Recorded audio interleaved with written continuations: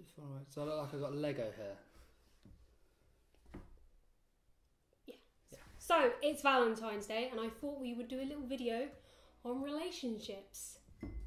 More specifically, our relationship. Tom, would you like to tell them a little bit about yourself? I'm okay, thanks. I'm Tom. Hi. Here's the boyfriend. And how long have we been going out? How long have we been going out for now? Five years. Five years. It's been alright, isn't it? It's been a lot of ups and downs. Yeah. Do we want to start with how we first met? Yeah. At Yeah. work. Where did we meet, Tom? At work. Yeah, but where is work? Oh, M&S. Yeah, so basically there was a new store that was opening up and we both got transferred there and it was it was a brand new store so we had to build up the shelves and the stock and put all the tickets out and stuff like that. So that's how we met and you were asking people where they'd parked, isn't that right? We were, we were just having a chat Yeah. as a group, and then you said to me, "Oh, where did you park today?" Um, because I think there was like limited parking spaces or something because it was quite a new area okay. and I was like, oh, I got dropped off uh, because at the time I hadn't passed my driving test. That's right. And and you were like, oh, so how are you getting home? And I, and as for a joke, because I thought I was hilarious, I was like, oh, I'm walking home. And you were like, walking? How far away do you live? And I was like, about twenty minute drive. And you're like, no, that's that's mental. That's madness.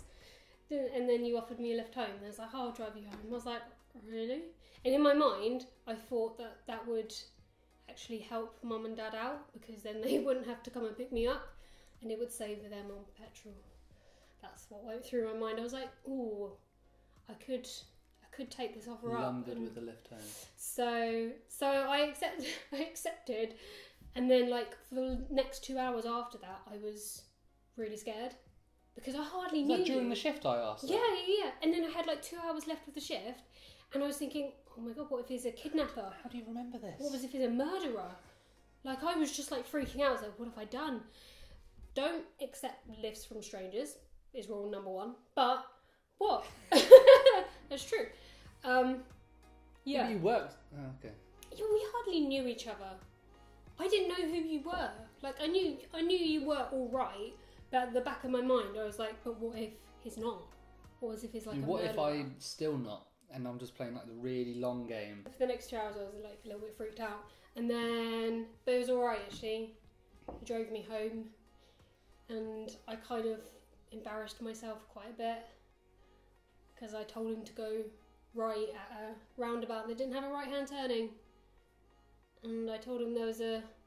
I was like, "Watch out for the speed camera that's going up," and it was just a yellow I sign. I that. So yeah, and then after that we just sort of like exchanged numbers and then texted quite a bit, and we saw each other at work quite a lot. Um, and then one fine day in December, he texted me one night. It's like, "Oh, how about we just go out, just the two of us, maybe sometime." Don't give away my moves. The moves. The dog. Oh, the dog. I think I was just in a little bit of shock um, because I went from hysterically laughing to just being like. I actually vlogged it on my old webcam, um, and if I can find that clip, if I'm brave enough, I will insert it now.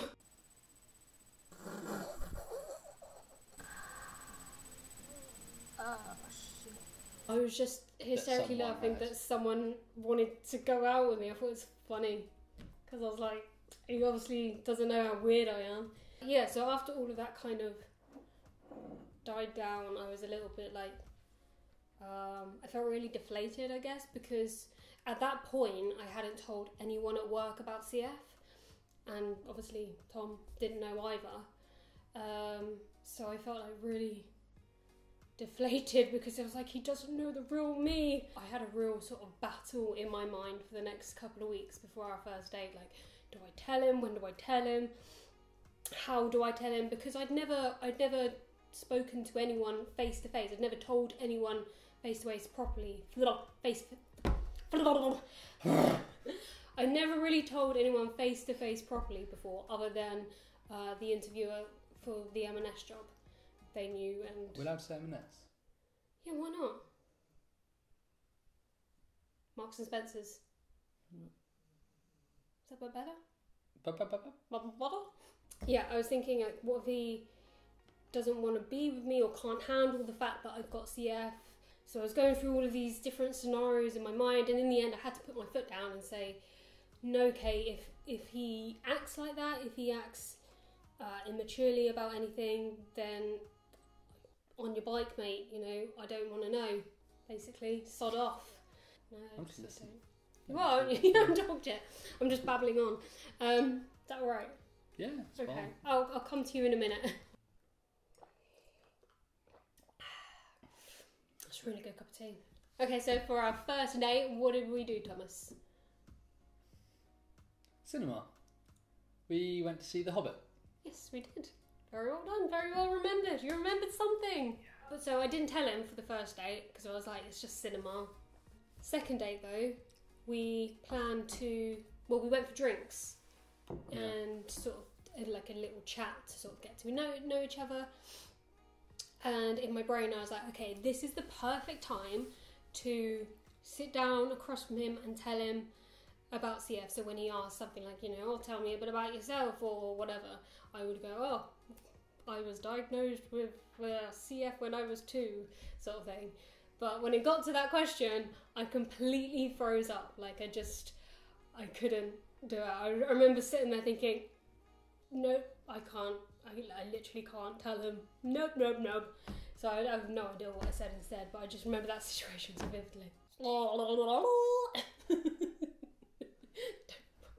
All people are going to see is just me sitting here while you chat, chat, chat, go, go, go, go, go, go, go, go. well, I'm very aware we're on a time limit. If you can hear build, building, if you can hear like knocking, is we've got builders in next door, so can't do anything about that. Soz. Don't say SARS. Don't say soz. Sorry. So yeah, I was really frustrated after our second date because I didn't tell him.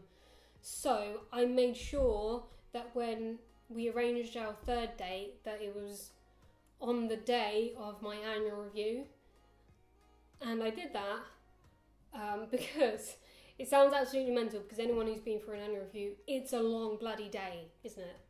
Oh, It's- yes, it's full a really really long day. I did it because.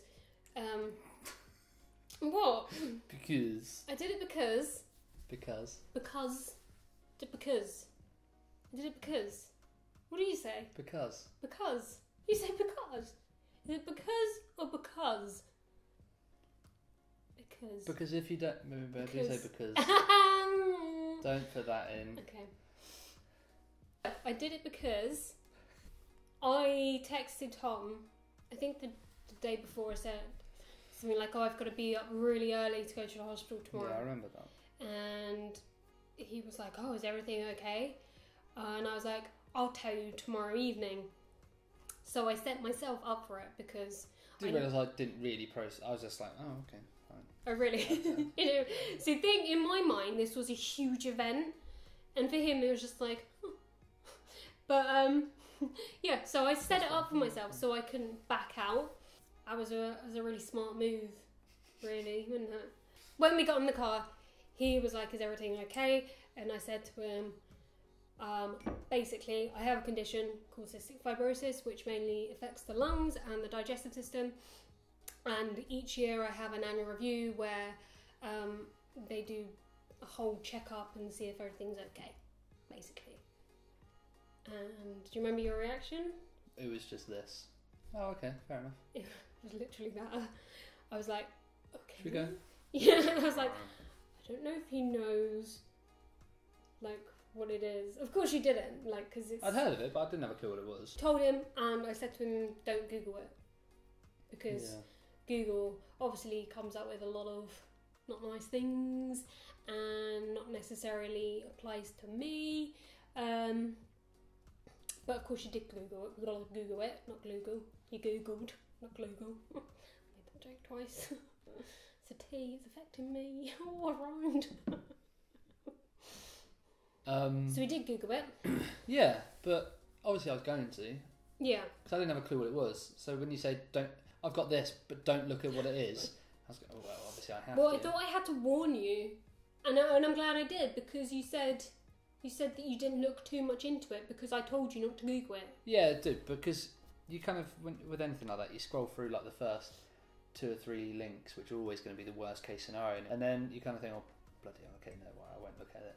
So then I looked at sort of roughly what it would have been, or what it entails, and then I closed it, and then I thought I'd let her talk to me properly about it because Mm. obviously everyone's a bit different, and you don't actually know what you're going through or what Mm. your what your condition um, entails Yeah, yeah. compared to others. After I told you about it, it was. I think it was really difficult for me because I couldn't. I'd never like really been open about CF before to anyone. So Not even friends and stuff. Well, some of my friends knew, but even with them, like I struggled to do my pills in front of them. Like if we went out for a meal, I would go to the loo to take my Really? Creons. Yeah, like I was that um, self-conscious about it. It was a strange sort of thing because I told you about it, but I hadn't really shown you Yeah. like everything because I hid it because that's what I was used to. If that makes sense, and I did for the longest time. Like any time that you would ask me sort of a question about it or see me doing my nebs or my pills or whatever, I would get really embarrassed. And it wasn't until like six months in, um, when we went on holiday for the first time, which was camping, and I had to do my nebulizers. Obviously, I just remember saying to myself, "I've just got to do it," and I did it. And I think maybe you asked a couple of questions. I probably did, yeah. Yeah, and I just sort of I kind of blocked everything out and I just told him about it all. And that's how it sort of started to develop and then you asked me a lot of questions all I did alright, didn't I? Asking Yeah, questions. no, and the thing is he was like you you not he. He. You you're here. I- I you were really supportive with like everything and I didn't feel like you treated me any differently or you looked at me any differently. No, but be mad too anyway, wouldn't you? I don't know. In in my brain, that's like one of the reasons why I never wanted to tell everyone because I was so worried that people were gonna treat me differently or look at me differently. So in my brain, that was just the go-to reaction. Hmm. So when you were like supportive and caring and like I don't know, you didn't judge me or anything for for it. Yeah, but you don't have a choice in it, do you? No, don't. There you go. Mm. Plus, I mean, you're a hoot. Yeah, so that was pretty much like the start of our relationship. When you first came to hospital when I was on IVs, like I remember you you like got there at eight a.m. Yeah. Like it's an hour to get there. Like you drove an hour and you bought me like a load of bag of goodies and stuff.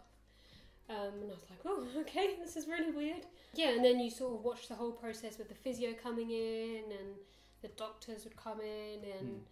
Well, she um, taught me through um, percussion properly, didn't she? Yeah, yeah, yeah, she taught you how to do it properly. So how did you feel when you saw me with like the long line in and Probably a little bit of kind of, oh, okay.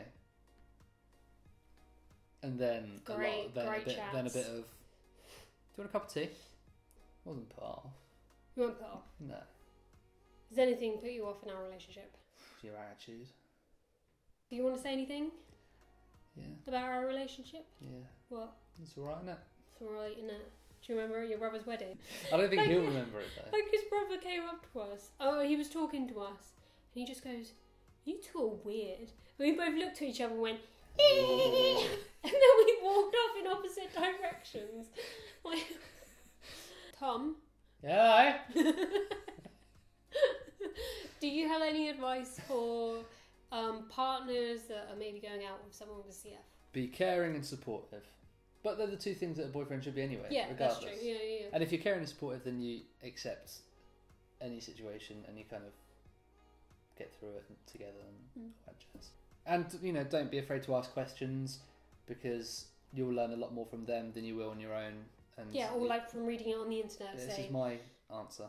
Um, so you'll learn a lot more from them than you will by reading it on the internet. And Mm. so yeah, Because I think as well, like if you read a lot of stuff on the internet, which there is a lot of stuff, it's all very general CF, yeah, it is. whereas us CFers are completely I still different. haven't looked it up on the internet since. I could, can you let me finish, please? It's my answer now. I barely got a word in. Yeah, because all of us CFers are completely, like, uniquely different. Hmm. So, reading about it on the internet, it might not apply to the person that you're going out with. And that would probably be my advice to a, a CFer who is going out with someone is just to try your best to be like really honest and open uh, with the person you're dating, with your partner. Because that's, that's the, the way you're both going to learn, isn't it? Mm. Um, I'm All just trying to. no filler. I'm trying to. Boo, boo, what album's that? Sum 41. yes, I got it. Um, mm. geezer. Mm, yeah, yeah, yeah, mm. yeah. Robot, robot, robot, what? Happy Valentine's Day. Happy Valentine's Day. I hope you've enjoyed this video and it was interesting. I'm sorry I talked too much. Do you think people want to hear about our relationship? I don't know now. Thank you, Tom, for being in this video. Anytime. It's great. Yeah. Really, really good. Enjoyable. Do we do that? Ugh. That's the that's the that's the thing. The thumbnail? The thumbnail. Don't put that in. That's so cringeworthy.